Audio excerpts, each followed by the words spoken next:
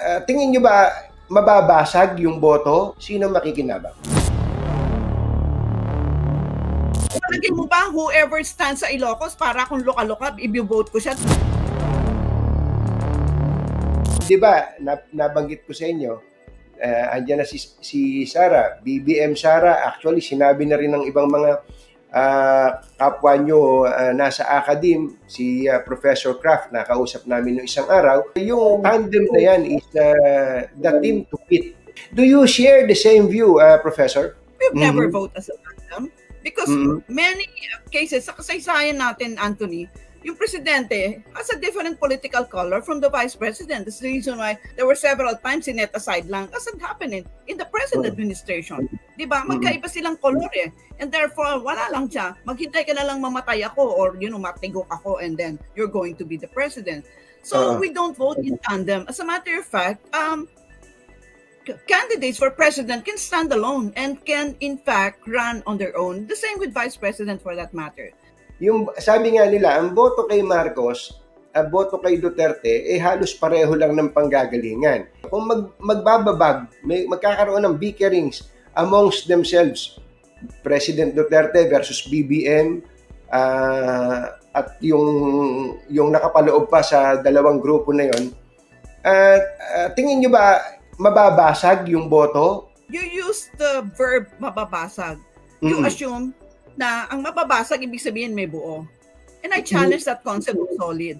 There okay. is no solid north, solid middle, solid whatever. I'm from Ilocos also, Anthony, no? Mm-hmm. Of course, mm-hmm. nag-migrate din ang tatay ko dyan sa Muñoz, kanya nga magkakababayan tayo, no? Mm-hmm. Pero palagay mo ba, whoever stands sa Ilocos, para kung loka-loka, i-vote ko siya dahil galing ako sa Ilocos. Of course, those 65 million, ano, 65 mm-hmm. million voters, these are young people like you, 80%, upwards of 80%, and they are going to vote according to their life. So, mm. wag na natin gamitin yung ano ha, solid because it cannot be defended. Even so-called religious groups, by the way, I have research mm. assistants who belong to this religious group and they, they say, ba't naman ko sila susundin? Eh, merong akong sariling ano, wisyo kung sino yung mm-hmm. bobotohin ko. That is on the assumption, uh, uh, Professor, na kung walang uh, Bongo sa Duterte, uh, President Duterte sa kabilang banda at ang magsasama lamang ay si Sara Duterte at si Bongbong Marcos, somehow meron meron silang meron silang pagkukuhanan ng uh,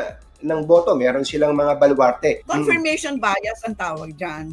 Opo. Suppose I like, wag na natin, let us not name them. I like candidate X. Okay? Mm-hmm. Whatever candidate X does, i-confirm ko lang yung pagkagusto ko sa kanya. Pag mm-hmm. meron siyang ginawang hindi maganda, mag-kick in yung another principle called, called cognitive dissonance, which means bibigyan ko siya ng justification kung bakit siya naging ganon. Right now, most people already know whom they're going to vote for. More mm-hmm. likely. The Tabo. only thing, iligawan ng mga kandidata, yung swing. Yung swing, uh, and nobody knows what the swing looks like. Yung swing, mm-hmm. yung maano mo siya ng, oh, pakending-kending ka dyan, pakanta-kanta ka, whatever. O siguro magbibigay ka ng a thousand here and there. This is the swing that can change their minds. Professor, last na lang. Si, sa tingin nyo, uh, nandun yung nabanggit nyo kanina, si Manny Pacquiao, Lenny Robredo, uh, Ping Lacson, uh, Isko Moreno, Among them, sa tingin nyo, sino yung medyo makakakita tayo ng mabilis na pagbabago o pag-angat sa mga survey uh, base sa mga galaw nila ngayon?